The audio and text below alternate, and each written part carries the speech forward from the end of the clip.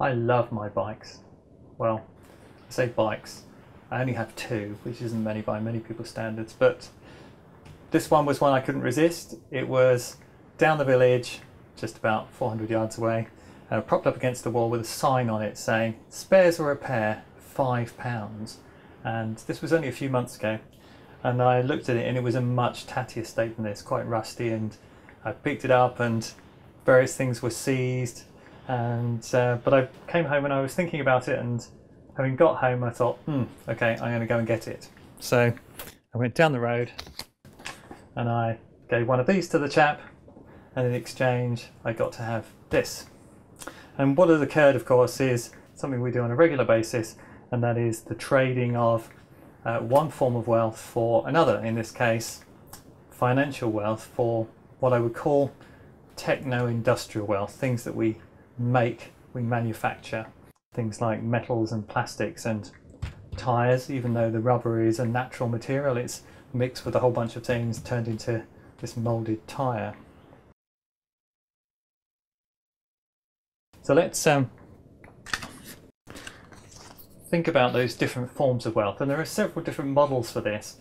Um, there's one by WealthWorks, another by Appleseed Permaculture, and they're all very good and very interesting. And what I've done is just reflecting on some of the words that are used and some questions in my head, I've come up with my own slightly adapted version, which I'll describe now. And so the first two I've got here are financial and techno-industrial. So let's put those on the wheel. And what's marvellous about this wheel is it has 36 spokes, 18 on each side. That's nine pairs, which allows me to put nine segments on it. So it even works mathematically. But even more fun for me is this uh, idea of the word wheel because wheel we associate with things that go round, of course. But there's also another word, weal, which comes from Anglo-Saxon and it's the root of the word wealth. So wealth and weal come from the same place. And the spelling of that word was W-E-A-L and we'll come to its meaning a bit later. But these days we tend to think of wealth as money or material possessions in our society anyway. And so these are the two forms of wealth that we tend to focus on the most. And in this session I'm going to reflect on some of the other forms of wealth and why they're important. So I traded some of this for some of this. But look where it led me. Why did I decide to do that in the first place? Well, well it's because I have a few other forms of wealth which I felt would have made this a better deal than perhaps it was for the people that went by and didn't choose to take it up. And that includes my intellectual wealth,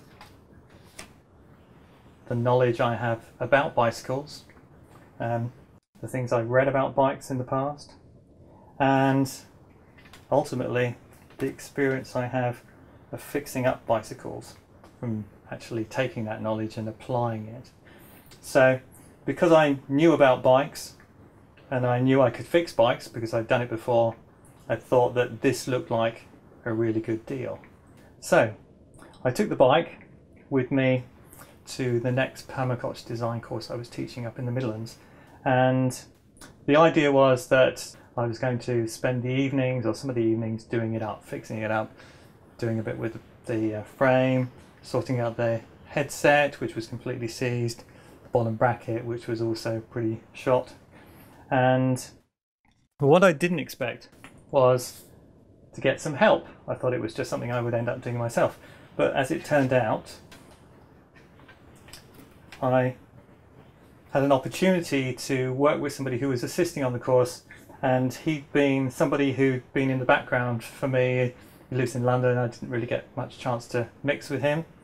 But um, we had two weeks together and he was really interested in the renovation of the bike and so we spent a lot of time fixing it up together and he really helped me particularly in those moments where I was starting to think I don't think I can fix this it's too seized and uh, he was just that kind of extra momentum to help me get through and so this is very much about the people we know the network we have around us the different experience knowledge, skills, and so on that we have within that network. And so for me, getting into permaculture, I really built my social network, like minded people around me.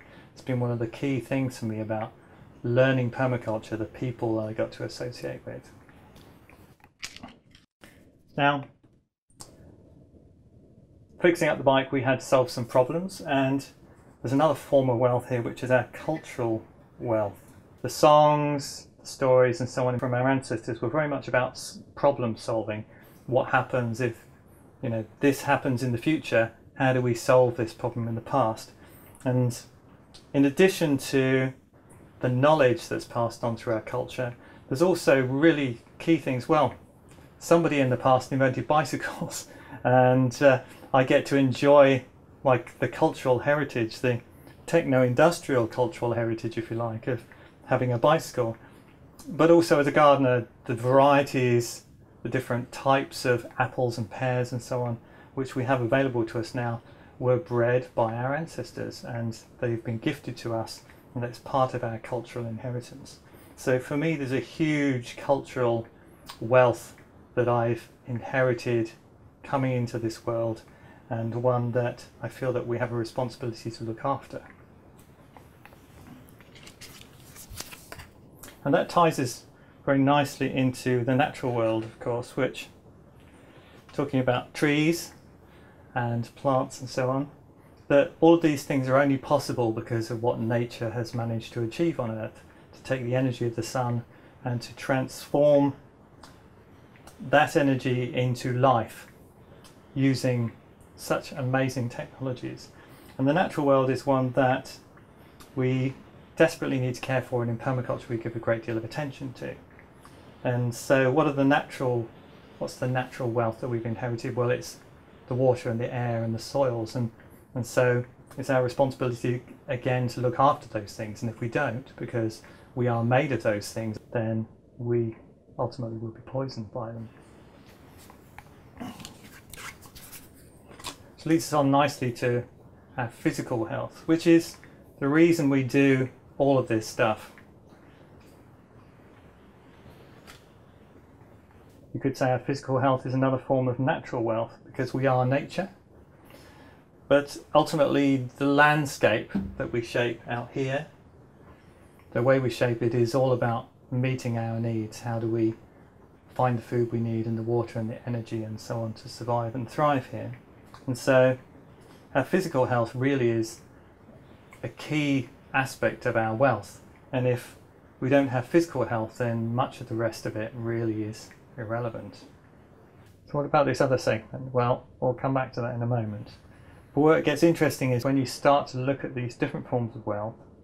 And when I talked about other models before, that was they're described as different forms of capital. Now, capital is a stock. It's it's a fixed thing, it's something you hold, it's the food in your fridge, or the food in your garden, or the logs in your log store.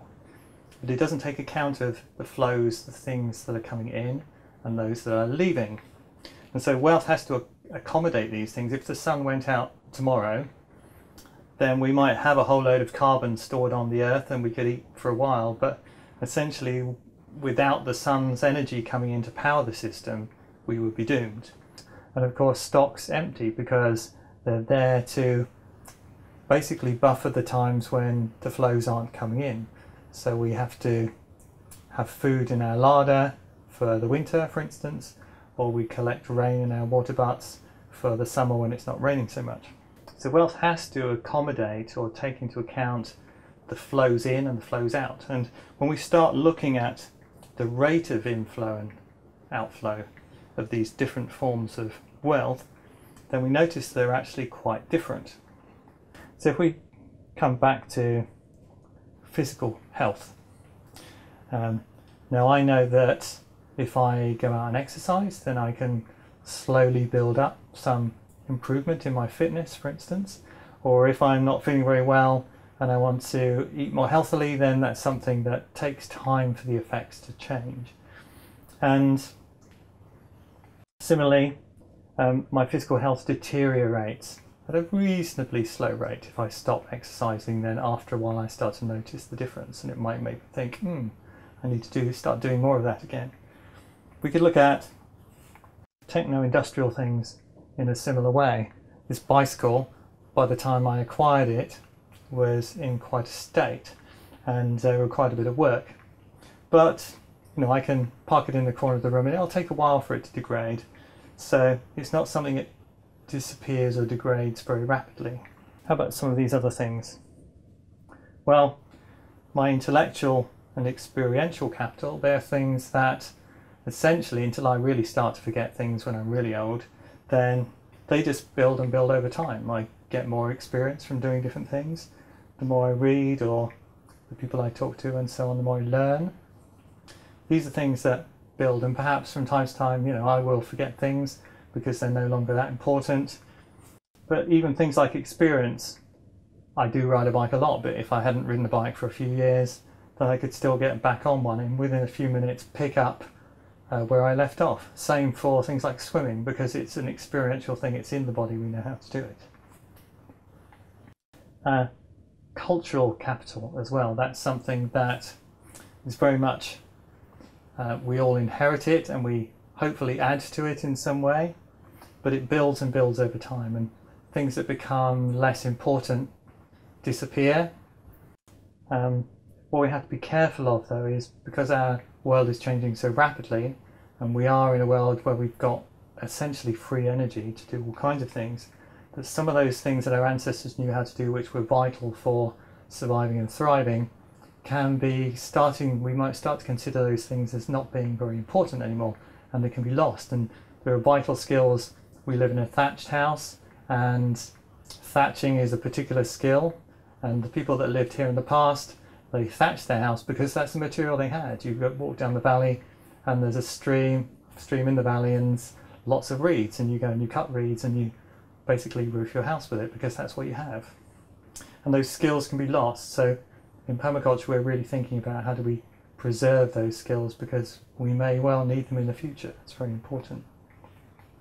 And of course our social capital, people we know and network, also again that's fairly stable we might be able to upset people quite quickly by just saying something uh, offensive. But on the whole, our social network stays pretty much stable. It doesn't change very rapidly. The natural world is also very interesting because nature essentially just builds and builds over time. Life has used the energy of the sun and the expertise of different species and kingdoms in nature to build more and more of itself.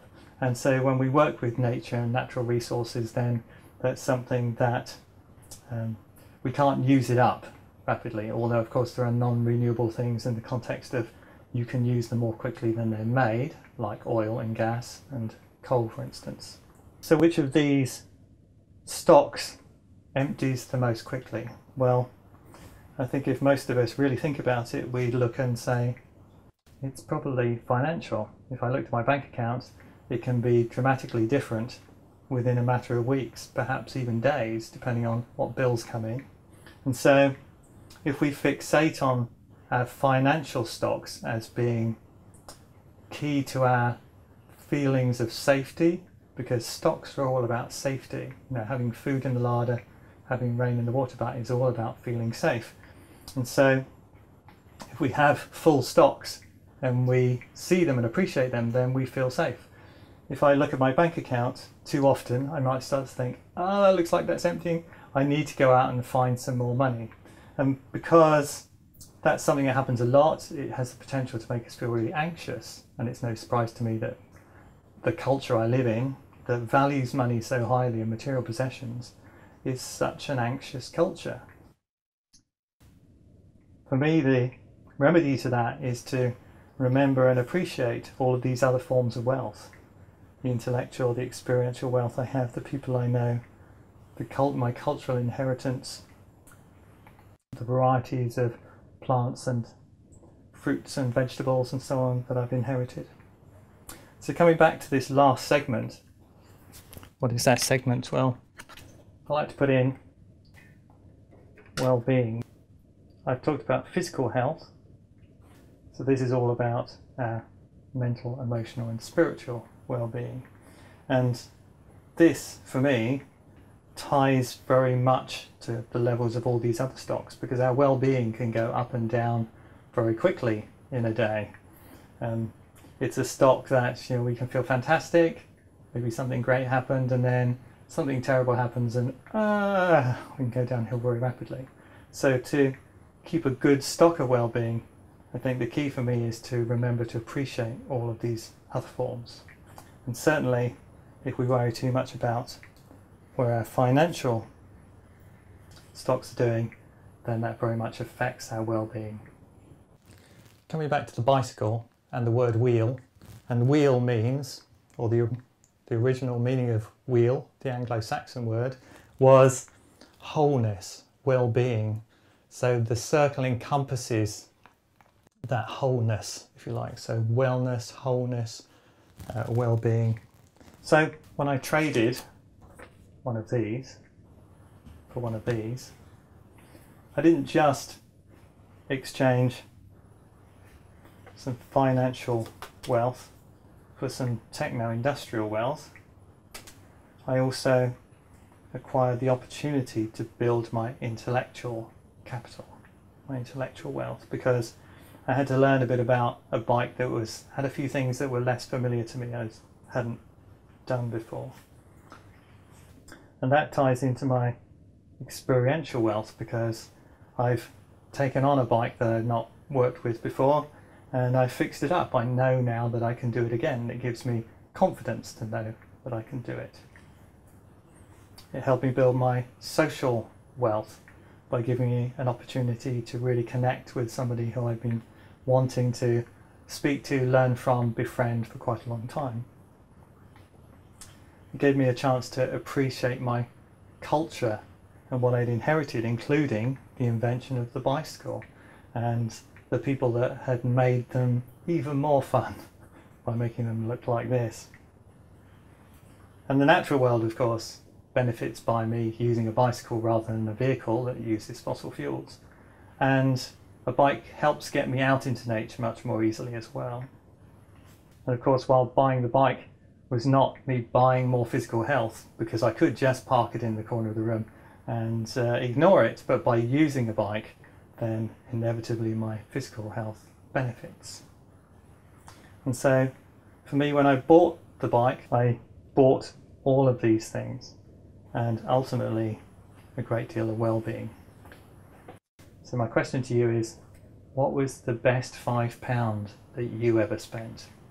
And I mean that from the perspective of all of these different kinds of wealth that you acquired by doing so.